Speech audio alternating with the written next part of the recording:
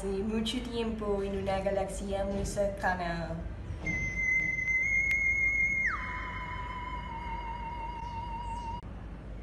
¡Oh, vaya! Pero miren qué tenemos aquí, el planeta Tierra. Es uno de mis lugares favoritos, sobre todo por su arte. Mis obras preferidas son del periodo romanticista. ¿Quieren que les hable de él? Pues bien, empecemos. El romanticismo se trata de un movimiento artístico y cultural que se desarrolló en Europa y América en el siglo XIX.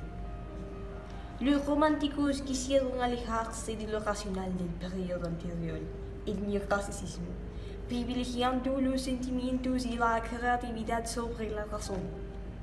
Esta es una de mis obras favoritas, llamada Caminante sobre el mar de nubes.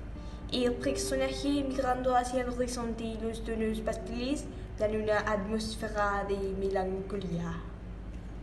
Ahora pasemos a la siguiente.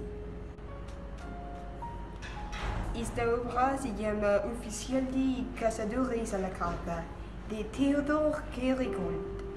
Presenta otra de las características más importantes del romanticismo, el pueblo, la libertad y el dinamismo en sus elementos. Pero lo que más me atrae de esta pieza es la representación de la fuerza y emotividad de temas heroicos.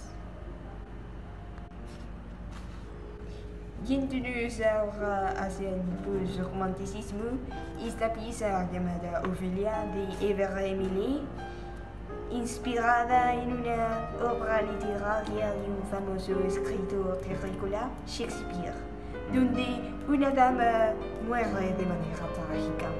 Y es aquí donde vemos muy bien lo sentimental del romanticismo. Y con esto, terrícolas, hemos terminado con el recorrido de hoy.